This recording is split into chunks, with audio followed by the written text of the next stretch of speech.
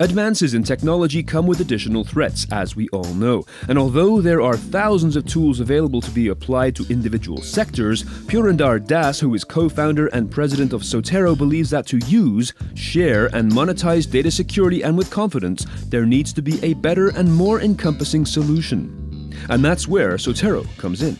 What we bring to the table is a single platform that enables organizations to protect all of their data assets, regardless of where they are, all the time, but also add the ability to use the data in its protected state.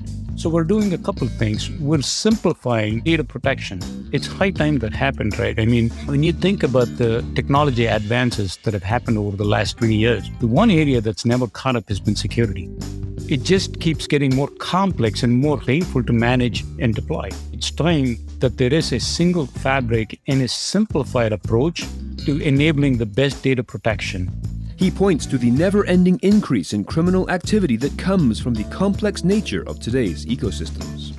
Criminals have millions of entry points or access points, both socially engineered as well as physically engineered. Uh, what we are enabling organizations to do or empowering them to do is to adopt the technology in, in all of its complexity to drive their business forward, but also stay in charge of their data. Learn more at soterosoft.com. That's S O T E R O soft.com.